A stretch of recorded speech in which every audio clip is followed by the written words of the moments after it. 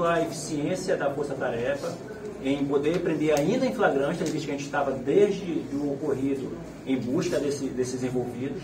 Então nós conseguimos identificar e qualificar oito deles, quatro presos e outros quatro que vieram a óbito. Lembrando que esses quatro vieram a óbito, todos tinham passagem também pela polícia, muito deles relacionado à atividade de roubo banco ou de carro forte. A gente vai passar daqui a pouco para vocês. E teve também uma, uma, decisão, ontem teve a lista de custódia, e a juíza definiu que a Polícia Civil, junto com os órgãos de segurança, a Polícia Científica, continuam é, na investigação, porém, uma vez concluída a investigação, o inquérito será encaminhado à Justiça Federal, tendo em vista que há uma agência da Caixa Econômica envolvida. Então, independente se tem uma agência do Amparar, mas quando há um crime federal envolvido, tudo vai para a Justiça Federal. Porém, a investigação continua até o final com a Polícia Civil do Estado, com o apoio da Polícia Científica do Estado, que irão concluir a investigação e, ao final, remeter ao Judiciário Federal. Ah, lembrando que foram 16 armas apreendidas,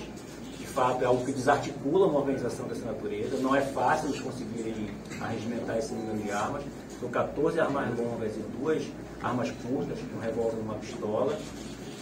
7 quilos de, de droga, eh, especialmente falando maconha, encontrada no local do esconderijo, é, cerca de 50 quilos de explosivo,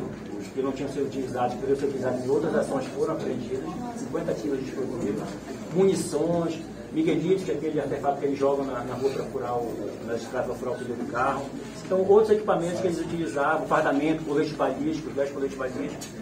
para que a gente pudesse é, elucidar o caso na sua totalidade, mas também desarticular essa quadrilha que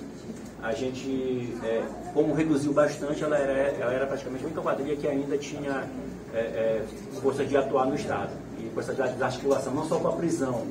e com o óbito dos outros, mas também com as apreensões de armas, principalmente, a gente consegue desarticular essa organização.